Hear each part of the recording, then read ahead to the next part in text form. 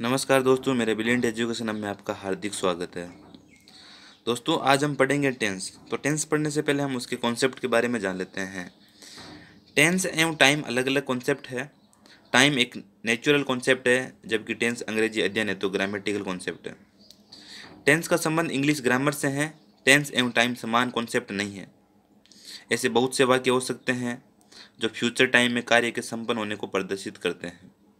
लेकिन English grammar के नियमानुसार, उन पर प्रजेंट टेंस के नियम लागू होते हैं, उनका अनुवाद प्रजेंट टेंस के नियमानुसार किया जाएगा। जैसे she is coming tomorrow Sita is going to Delhi tomorrow mister Sharma retires in the month of December ये वाक्य फ्यूचर टाइम या एक्शन को बताते हैं, लेकिन उनका अनुवाद प्रजेंट टेंस के नियमानुसार किया जाता है। अतः टेंस एवं टाइम दो दो दो अलग अलग कॉन्सेप्ट हैं। अब आपको टेंस एवं टाइम का कॉन्सेप्ट भली बात समझ में आ गया होगा। तो दोस्तों, अब आगे बात करते हैं टेंस के, काइंड्स के बारे में। तो दोस्तों, टेंस है, वो तीन प्रकार के होते हैं। पहला प्रजेंट टेंस, यानी कि वर्तमान काल। दूसरा पास्ट टेंस, यानी कि भूतकाल। और तीसरा आता है वो फ्यूचर टेंस, यानी कि भविष्य काल दोस्तों, अब बात करते हैं टेंस के उपभागों के बारे में, यानी कि प्रत्येक टेंस को कार्य के आधार पर चार चार भागों में बांटा गया है। तो दोस्तों, पहला जो उपभाग है, वो होता है इंडेफिनिट दूसरा होता है कंटिन्यूस तीसरा परफेक्ट और चौथा परफेक्ट कंटिन्यूस दोस्तों, अगर आपको अभी ये समझ में नहीं आ रहा होगा तो धीरे धीरे जैसे जैसे हम आगे पढ़ेंगे तो आपको यह धीरे धीरे समझ में आता जाएगा। अभी तो सिर्फ़ जो भी मैं बता रहा हूँ, आप आप उसको ध्यान से सुनो और उसको समझो। अब हम बात करेंगे सबसे पहले टेंस प्रजेंट इंडेफिनिट टेंस की। दोस्तों प्रेजेंट इंडेफिनिट टेंस कार्य में संपन्न होने की स्थिति स्टेट ऑफ़ एन एक्शन के अनुसार प्रेजेंट टेंस को चार भागों में विभाजित किया गया है।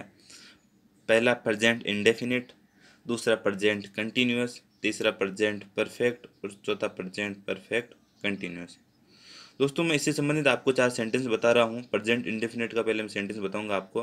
वह खेलता है, जिसको हम इंग्लिश में कहेंगे ही प्लेज सेकेंड सेंटेंस है, वह खेल रहा है ये सेंटेंस है प्रेजेंट कंटिन्यूस टेंस का, जिसकी इंग्लिश होगी he is playing third sentence है प्रेजेंट परफेक्ट टेंस का, वह खेल चुका है, यानी कि he had played fourth sentence है, वह जो प्रेजेंट परफेक्ट कंटिन्यूस का है, और वह सेंटेंस है, वह तीन घंटे से खेल रहा है, जिसकी इंग्लिश होगी he has been playing for three hours दोस्तों, आपने देखा होगा कि प्रत्येक सेंटेंस में कुछ परिवर्तन किया हुआ है, वो परिवर्तन किस प्रकार किया जाएगा, तथा वह कौन से समय को इंगित कर रहा है, उसके बारे में हम बात करेंगे। दोस्तों, अब हम बात करने जा रहे हैं प्रेजेंट इंडेफिनेट टेंस के अफर्मेटिव सेंटेंस के बारे में। आपको पता ही होगा कि प्रत्येक टेंस के चार वाक्य होते हैं अफर्मेटिव नेगेटिव इंट्रोगेटिव और इंट्रोगेटिव नेगेटिव दोस्तों, हम पहले बात करने जा रहे हैं अफर्मेटिव सेंटेंस यानी सकारात्मक वाक्य के बारे में। तो दोस्तों, कोई भी वाक्य पढ़ेंगे तो हम सबसे पहले ये देखेंगे कि उसको हिंदी में कैसे पहचाना जाएगा। तो दोस्तों, कोई भी वाक्य के अंत में ता है, ती है, ते है या ता हूँ इत्यादि ऐसे शब्द आते हैं। तो आपको ये जान लेना चाहिए कि ये सेंटेंस है, वो प्रजेंट इंडेफिनेट टेंस का है। एक बार मैं वापस बता रहा हूँ पहचान। हिंदी वाक्यों के अंत में ता है, ती है, ते है अथवा ता हूँ इत्यादि शब्द आते हैं। तो वो सेंटेंस प्रजेंट इंडेफिनिट टेंस के कहलाते हैं। दोस्तों, कोई भी सेंटेंस को बनाने के लिए हमें एक स्ट्रक्चर की आवश्यकता होती है। अगर हमें निश्चित स्ट्रक्चर के बारे में मालूम नहीं होता तो हम किसी भी सेंटेंस को हम सही तरीके से नहीं बना सकते। तो दोस्तों अफर्मेटिव प्रजेंट इंडेफिनिट के अफर्मेटिव सेंटेंस का जो फॉर्मूला है, वह है दोस्तों, सबसे पहले हम किसी भी सेंटेंस को, साधारण सेंटेंस को बनाएँगे तो सबसे पहले हम लिखेंगे सब्जेक्ट उसमें, उसके बाद वर्ब की फ़र्स्ट फॉर्म और साथ में एस या ई एस लगाना है। दोस्तों, इसके बारे में हम बात करेंगे आगे कि एस या ई एस कब लगाना है इसी वीडियो में। और उसके बाद लास्ट में ऑब्जेक्ट दोस्तों, जो हम बात कर रहे हैं वो एस या ई एस लगाने की, वो पहले हमें बता रहा हूँ आपको एस या ई एस कब लगाना है। दोस्तों, अगर कोई सिंपल प्रजेंट टेंस में subject singular number third person है तो वर्ब के साथ में एस या ई एस जोड़ा जाता है। यानी कि सब्जेक्ट सिंगुलर है तो हम क्या करेंगे? वर्ब के लास्ट में एस या ई एस जोड़ देंगे। दोस्तों एस या ई एस जोड़ने का सबसे साधारण नियम वो है कि अगर किसी भी वर्ब के अंत में double S O Z X C H S H है तो इस प्रकार के वाक्यों में, वर्ब के साथ में हम ई एस जोड़ेंगे। जैसे दोस्तों, दिया हुआ है गो। उदाहरण के लिए गो, जी ओ, गो। तो लास्ट में दोस्तों आया हुआ है यहाँ पे ओ। तो हम यहाँ पे इसका सिंगुलर बनाने के लिए, यानी जो ये गो दी हुई है, ये प्लूरल है। अब हम इसको सिंगुलर बनाएँगे तो सिंगुलर बनाने के लिए हमें गो में ई एस जोड़ेंगे तो यह सिंगुलर बन जाएगी। सेकंड है search S E A R C H तो सर्च में हम जोड़ेंगे ई एस क्योंकि लास्ट में आया हुआ है सी एच सी एच आने पे हम इसका सिंगुलर बनाने के लिए ई एस जोड़ेंगे। नेक्स्ट है किस? इसमें डबल एस आया हुआ है। इसका सिंगुलर बनाने के लिए हम ई एस जोड़ेंगे। किस से? हो जाएगा। नेक्स्ट है fetch, F E T C H. इसमें भी सी एच आया हुआ है। और इसका हम सिंगुलर बनाने के लिए ई एस जोड़ेंगे, यानी फेच हो जाएगा। लास्ट है वो क्विज। क्विज में जेड आया हुआ है। तो जेड में, जेड आया हुआ तो यहाँ पे हम इसका सिंगुलर बनाने के लिए क्यूजेज कर देंगे Q U I double Z E S और बाकी सभी वर्ब में एस लगता है। और कुछ वर्ब ऐसे होते हैं जिनके अंत में वाई आता है। और वाई से पहले कॉन्सोनेंट आता है। कॉन्सोनेंट जानते ही होंगे वोवल होते हैं इंग्लिश में पाँच ए ई आई ओ यू उसके अलावा जो बाकी बचे हुए लेटर होते हैं, वो कॉन्सोनेंट कहलाते हैं। दोस्तों, अगर किसी भी वर्ब के अंत में वाई है और वाई से पहले अगर कॉन्सोनेंट है तो subject singular number third person के साथ हम सिंपल प्रेजेंट टेंस में वाई को आई ई एस में बदलते हैं। जैसे फ्लाई एफ़ एल वाई तो हम इसका सिंगुलर बनाने के लिए F L I E S यानी कि वाई को हटाकर हमने आई ई एस जोड़ा है। सेकंड है क्राई सी आर वाई तो हमने क्राई को सिंगुलर बनाने के लिए C R I E S बनाया है। थर्ड है ट्राई टी आर वाई तो ट्राई को हमने सिंगुलर बनाने के लिए हमने किया T R I E S यानी वाई को हटाकर हमने आई ई एस में परिवर्तित कर दिया। फोर्थ है वेरीफाई तो दोस्तों वेरीफाई को हम सिंगुलर बनाने के लिए वेरीफाई की जगह वाई की जगह हम क्या करेंगे? आई ई एस जोड़ देंगे तो हो जाएगा वेरीफाइज नहीं V E R I F I E S अब हम देखते हैं पहला सेंटेंस पहला सेंटेंस आपके सामने दिया हुआ है, मैं खेलता हूँ।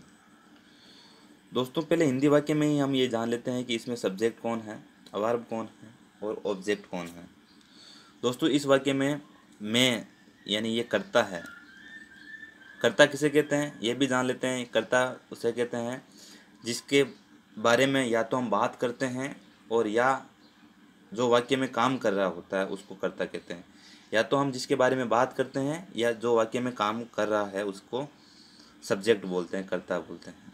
वर्ब वर्ब क्रिया को बोलते हैं, जो भी एक्शन हो रहा है वाक्य में, उसको हम वर्ब बोलते हैं और ऑब्जेक्ट बोलते हैं।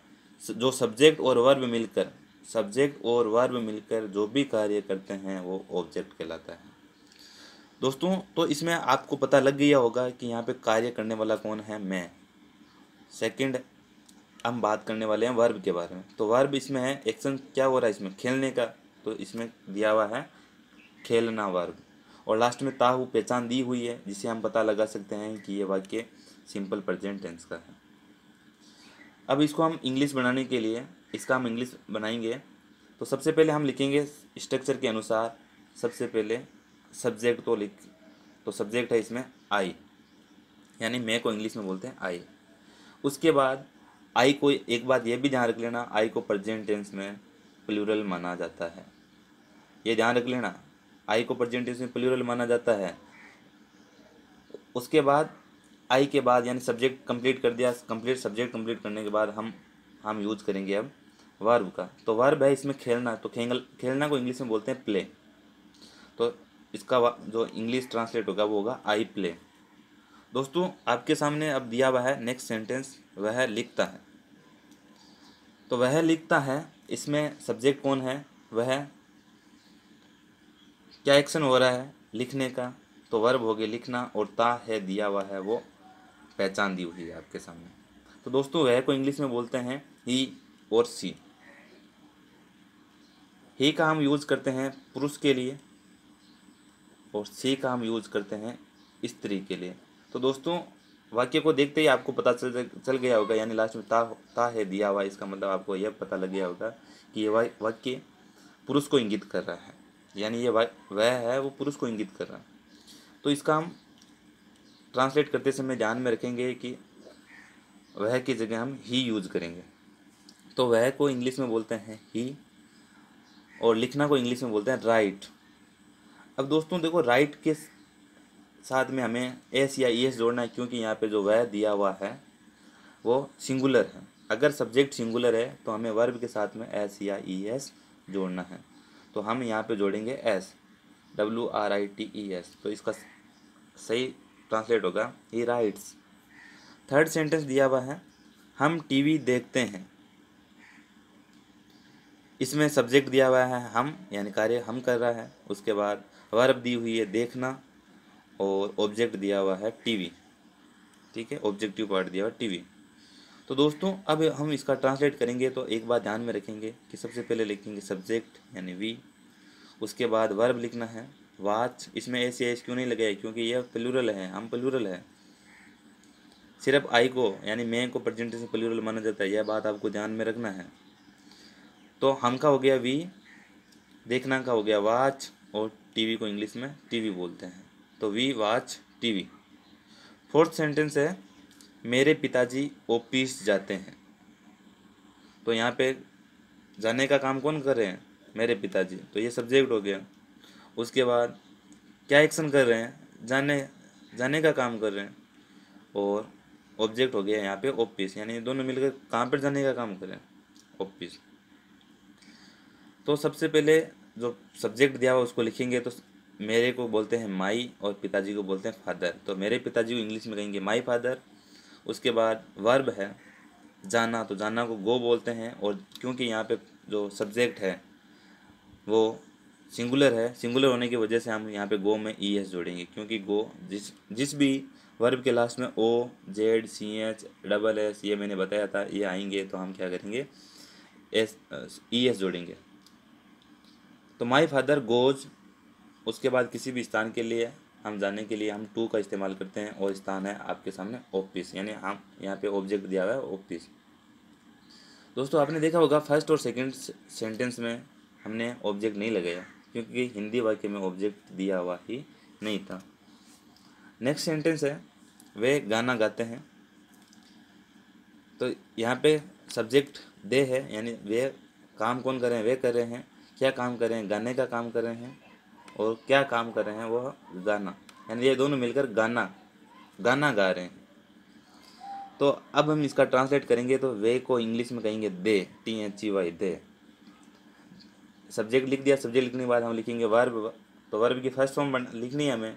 तो वर्ब की फ़र्स्ट फॉर्म गाना को इंग्लिश में बोलते हैं सिंग दे प्लूरल होने की वजह से हम यहाँ पे सिंग को कोई भी परिवर्तन नहीं करेंगे सिंग का कोई भी परिवर्तन नहीं करेंगे। अगर यहाँ पे ये सिंगुलर होता तो हम यहाँ पे परिवर्तन करते। अगर सब्जेक्ट सिंगुलर होता है तो हम यहाँ परिवर्तन करते हैं, बल्कि यहाँ पे सब्जेक्ट हमारे पास प्लूरल है दे प्लूरल है, वे प्लूरल होता है। उसके बाद ऑब्जेक्ट है अपने पास, गाना तो गाना को इंग्लिश में बोलते हैं सॉन्ग तो इसका ट्रांसलेट होगा दे सिंग सॉन्ग दोस्तों, ये वाक्य देख के आपको समझ में आ गया होगा कि किस प्रकार हम ट्रांसलेट करते हैं। और अब आपको मैं एक्सरसाइज के लिए पाँच वाक्य दे रहा हूँ। वह वाक्य आप बैठ के अपनी कॉपी में या कमेंट बॉक्स में आप लिख के हमें बता सकते हैं कि किस प्रकार आपने इस वाक्य को बनाया। दोस्तों, अब हम नेगेटिव इंट्रोगेटिव और इंट्रोगेटिव नेगेटिव सेंटेंसेस की हम अगले वीडियो में बात करेंगे क्योंकि ये वीडियो लंबा हो जाएगा। इसलिए पार्ट टू का आप वेट करना और जल्द ही पार्ट टू आपके लिए आ जाएगा। तब तक के लिए जय हिंद, वंदे मातरम।